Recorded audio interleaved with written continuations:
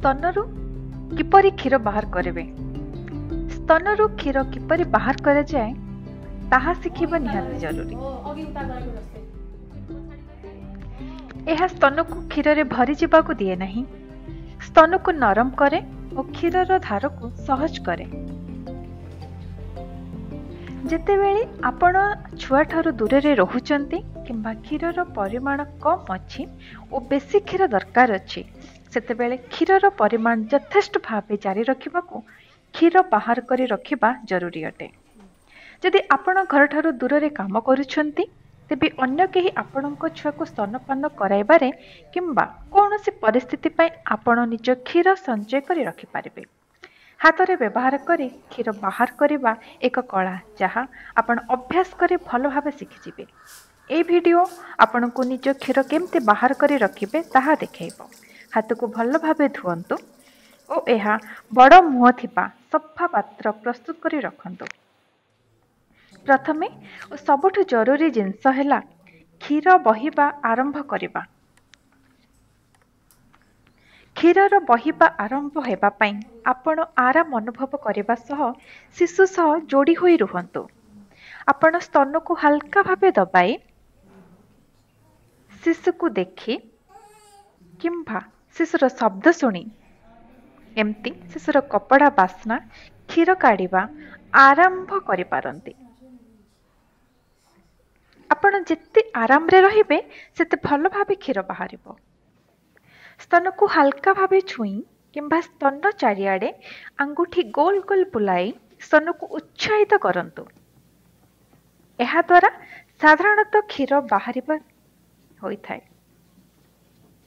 ପରବର୍ତ୍ତୀ ପଦକ୍ଷେପ ହେଲା ହାତ ଓ ଆଙ୍ଗୁଠି ଗୁଡ଼ିକୁ ଭଲ ଭାବେ ରଖିବା।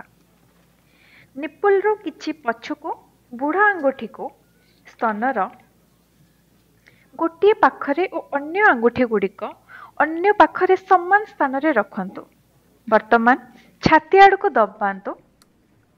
ବୁଢ଼ା ଆଙ୍ଗୁଠି ଓ ଅନ୍ୟ ଆଙ୍ଗୁଠିରେ ଏକାଥରେ ଦବାଇ ଗୋଲ କରି ବୁଲାନ୍ତୁ ଓ ଛାଡ଼ି ଦିଅନ୍ତୁ।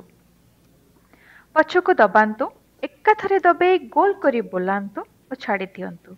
ପଛକୁ ଦବାନ୍ତୁ ଏକାଥରେ ଦବାଇ ଗୋଲ କରି ବୁଲାନ୍ତୁ ଓ ଛାଡ଼ି ଦିଅନ୍ତୁ। ପଛକୁ ଦବାନ୍ତୁ ଏକାଥରେ ଗୋଲ କରି ଦବାଇ ଓ ପରେ ତାକୁ ଛାଡ଼ି ଦିଅନ୍ତୁ।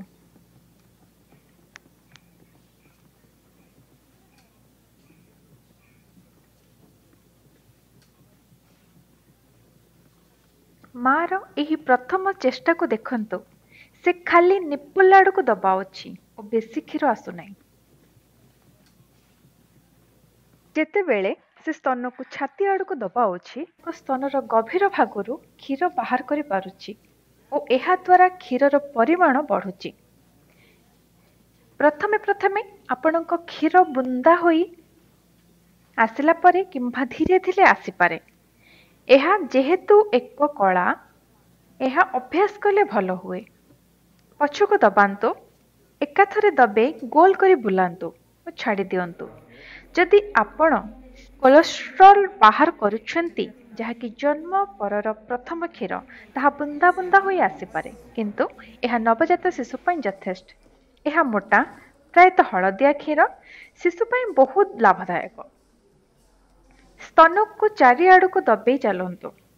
ବୁଢ଼ା ଆଙ୍ଗୁଠି ଓ ଅନ୍ୟ ଆଙ୍ଗୁଠି ଗୁଡ଼ିକରେ ଏକାଥରେ ଦବେ ଗୋଲ କରି ବୁଲାନ୍ତୁ ଓ ଛାଡ଼ି ଦିଅନ୍ତୁ। ଯେମିତି ଆପଣ ଥରେ ସ୍ତନକୁ ଚାରିଆଡ଼କୁ ନେଉଛନ୍ତି ହାତକୁ ସେଇଠି ହିଁ ରଖନ୍ତୁ। ଖାଲି ଆଙ୍ଗୁଠି ଗୁଡ଼ିକୁ ବ୍ୟବହାର କରି ସ୍ତନକୁ ହିଁ ଦବାନ୍ତୁ। ହାତର ଅଲଗା ଅଂଶ ହଲିବା କଥା ନୁହଁ। ସ୍ତନର ଭିତର ଅଂଶ ନରମ ଅଟେ। ଧ୍ୟାନ ଦିଅନ୍ତୁ ଯେ ସ୍ତନରୁ ନିପୁଲ ଆଡ଼କୁ ଆଙ୍ଗୁଠି ନ ଖସୁ କିମ୍ବା ଟାଣି ନ ହେଉ। ଏହା କଷ୍ଟ ଦେଇପାରେ। ନିପୁଲକୁ ଚିପନ୍ତୁ ନାହିଁ କିମ୍ବା ଟାଣନ୍ତୁ ନାହିଁ।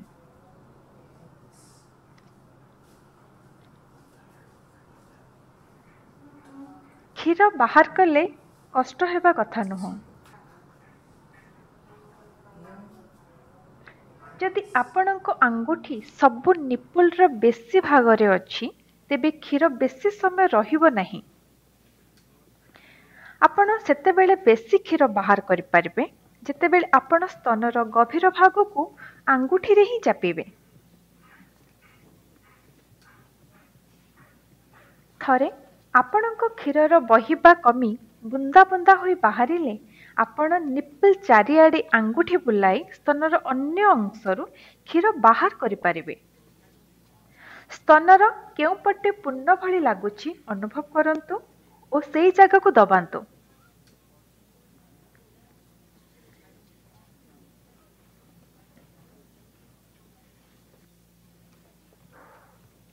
ଯେମିତି ଗୋଟିଏ ସ୍ତନରେ କ୍ଷୀର ବହିବା କମ୍ ହେଉଛି ଆର ସ୍ତନକୁ ଯାଆନ୍ତୁ। କ୍ଷୀର ବହିବା ବହୁତ କମ୍ ହେବା ଯାଏଁ ଏମିତି ଗୋଟିଏ ସ୍ତନରୁ ଅନ୍ୟ ସ୍ତନକୁ ବଦଳେଇ ହିଁ ଚାଲନ୍ତୁ।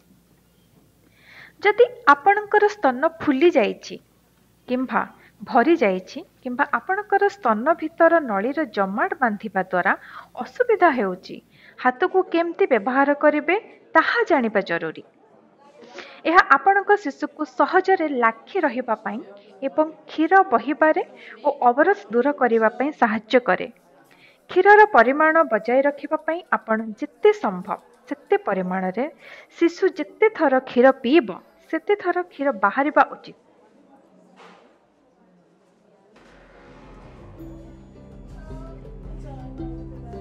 ମନେ ରଖନ୍ତୁ କ୍ଷୀର ବାହାର କରିବାକୁ ସମୟ ଲାଗେ। ଆରାମ କରିବା ସ୍ତନରେ ହାତ ବୁଲାଇବା ଓ ଶିଶୁ ପାଖରେ ରହିବା କ୍ଷୀର ବାହାର କରିବାରେ ସାହାଯ୍ୟ କରିବ।